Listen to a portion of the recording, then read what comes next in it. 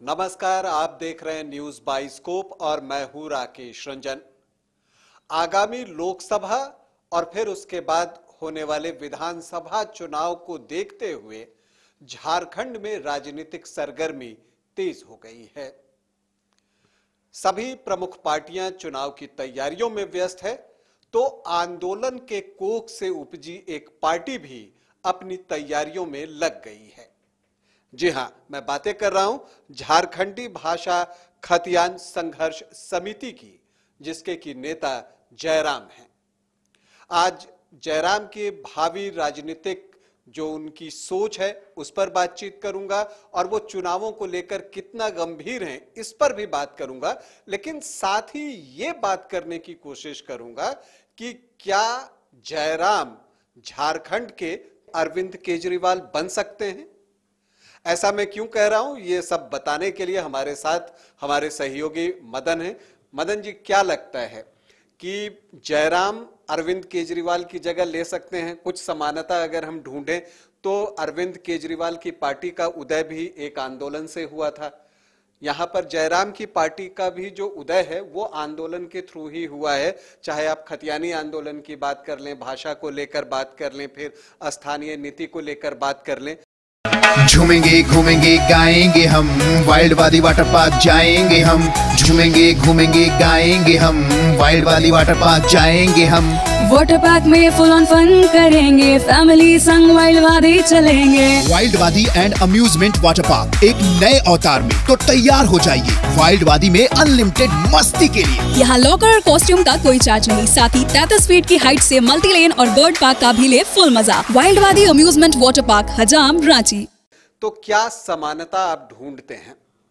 देखिए ये बात ज़रूर है कि जो भी आंदोलन होते हैं, उससे कोई ना कोई नेता ज़रूर निकल कर सामने आता है। और झारखंड में जो ये आंदोलन है, वो युवाओं का आंदोलन है, क्योंकि रोज़गार से जुड़ा हुआ है, नियोजन से जुड़ा हुआ है और स्थानीयता से जुड़ा हुआ। ऐसे में एक युवा के तौर पर ज़रूर इस आंदोलन को लीड किया जयराम ने और अब जो है इस आंदोलन से वो एक राजनीतिक पार्टी बनाने की पूरी रूपरेखा तैयार की और उसके बाद एक जो झारखंड झारखंडी भाषा खतियान संघर्ष समिति जो एक तैयार किया है, इसके माध्यम से वो आगे चुनाव लड़ने की भी घोषणा कर रहे हैं। अब इसका असर क्या होगा, ये आने वाला वक्त बताएगा। लेकिन जो बातें आप कह रहे हैं कि वो क्या अरविंद केजरीवाल बनने की कोशिश कर रहे हैं तो ये बात ज़रूर है कि जो कोई आंदोलन करता है तो वो पीछे मुड़कर देखता है कि हाल के दिनों में आंदोलन से उपज कर किसने सफलता हासिल की और उसका रोल क्या था।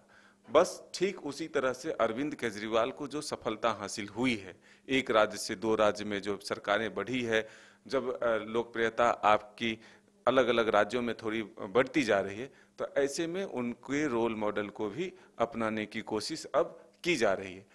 अब दो प्रमुख विषय इसमें हैं कि एक तो वो क्राउड फंडिंग की बात अरविंद केजरीवाल भी किए थे और वही बात अब जयराम कर रहे हैं। जी हाँ जो प्रेस कॉन्फ्रेंस उन्होंने हजारीबाग में किया, उसमें उन्होंने ये बताया कि वो क्राउड फंडिंग के ज़रिए जो है वो आर्थिक, जो भी सहयोग हो पार्टी के लिए वो इकट्ठा करना चाहते हैं और वो विदेशों से भी फंडिंग हो रही है। उन्होंने कहा कि अभी एक हज़ार लोग हैं, हो सकता है आगे चल के दस हज़ार हो जाए। बिल्कुल यही बात है कि आप सबसे पहले अगर कोई पार्टी बनाते हैं तो पैसा मायने रखता है कि आपके पास उतने पैसे कैसे आएँगे क्योंकि बड़ी बड़ी पार्टियाँ हैं और उसके सामने आपको एक तरह से चुनौतियों का सामना करना पड़ेगा। चुनाव के लिए संसाधन भी जुटाने होते हैं। उसके लिए पैसे चाहिए। तो फिर आपके पास अगर पैसे नहीं होंगे तो फिर उन चुनावी जो खर्चे हैं जो चुनाव में खर्च होंगे या फिर जो राजनीतिक पार्टियाँ आपके सामने हैं उससे कैसे मुकाबला कर सकते हैं? तो इसके लिए सबसे बड़ा जो एक तरह से साधन चाहिए, वो पैसा है।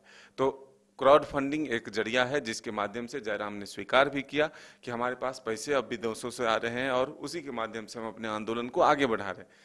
अब रही बात तब तो एक समानता और दिख गया ना। अरविंद केजरीवाल भी जब शुरू में कर रहे थे तो एक क्राउड फंडिंग की बात थी और विदेशों से भी, उन्हें भी आर्थिक सहयोग मिलता था पार्टी को चलाने के लिए। तो एक समानता और दिख गया। दो समानता तो हमने ढूंढ ली कि आंदोलन से ही आम आदमी पार्टी का भी उदय हुआ, अरविंद केजरीवाल की पार्टी का, और यहाँ पर जो है झारखंडी भाषा खतियान संघर्ष समिति का भी उदय वहीं से हुआ। अगर आपने क्राउड फंडिंग की तो अब जो है जयराम की जो पार्टी है, वो भी क्राउड फंडिंग का सहारा ले रही है, और उससे बहुत सारी अपेक्षाएँ रखती है कि हाँ चुनाव लड़ने में उन्हें सहयोग मिलेगा।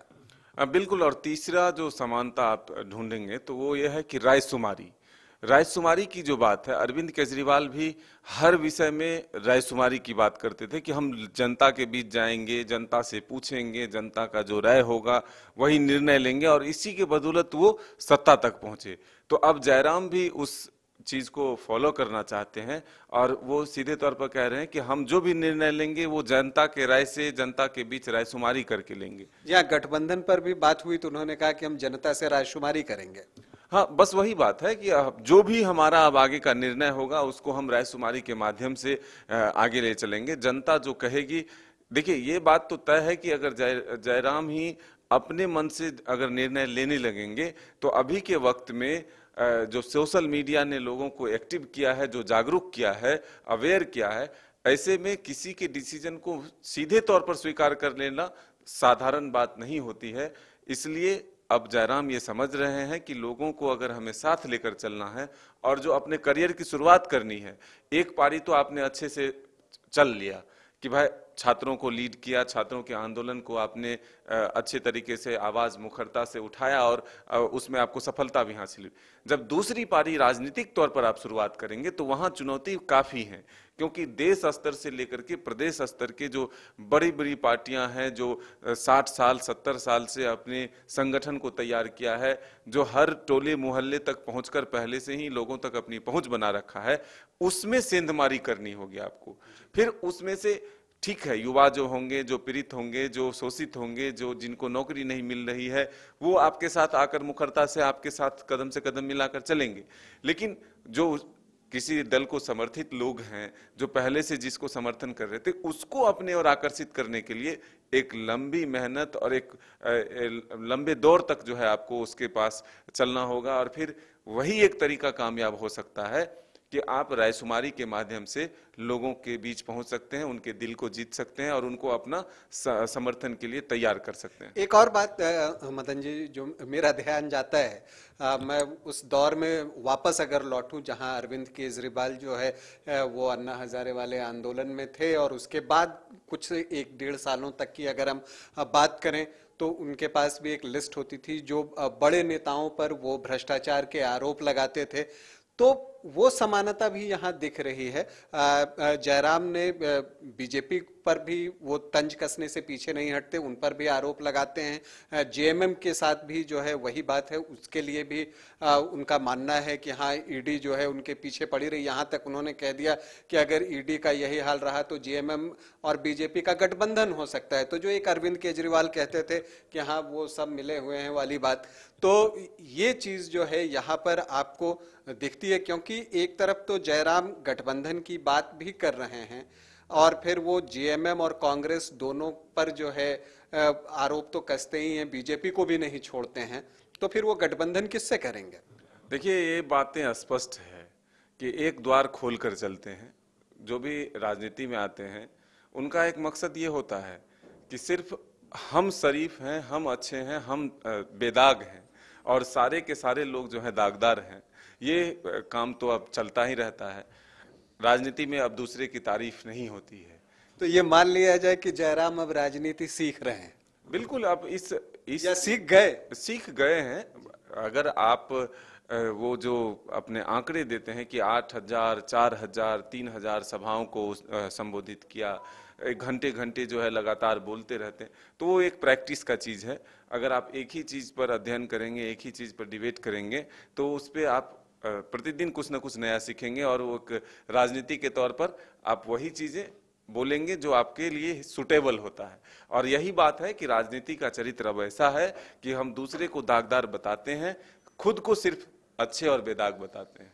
तो जी हाँ ये जो राजनीति का खेल है, वो चल रहा है और झारखंड में भी चल रहा है और आप कह सकते हैं कि बीजेपी हो, जेएमएम हो, कांग्रेस हो, उसके बीच जो है जयराम की जो पार्टी आने वाली है, आगामी चुनाव में वो एक चुनौती पेश करना चाहेगी। जयराम को जैसा कि मैंने कहा कि ऐसा लगता है कि जो अरविंद केजरीवाल का मॉडल था, उसको वो फॉलो करते हुए दिख रहे हैं। तो क्या जयराम अरविंद केजरीवाल जैसे ही लोकप्रिय आगे भी हो पाएँगे? क्या सत्ता की कमान एक दिन उनके हाथों में भी आएगी? ये कुछ ऐसे सवाल हैं जिसके लिए उन्हें कठिन परिश्रम तो करना ही होगा। जनता का विश्वास भी जीतना होगा, जो सबसे बड़ी चुनौती है। अभी आपसे अनुमति चाहेंगे। मदन जी, हमसे बातचीत करने के लिए आपका बहुत बहुत धन्यवाद। अनुमति दें। नमस्कार। वेलकम टू चाचा मामा दंगल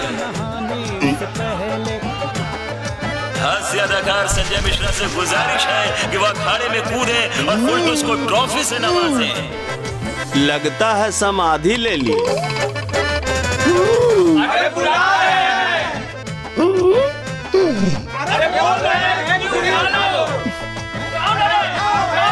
टॉप टेक सीमेंट। जो जोड़े तो छोड़े नहीं। मजबूती ही हमारी पहचान।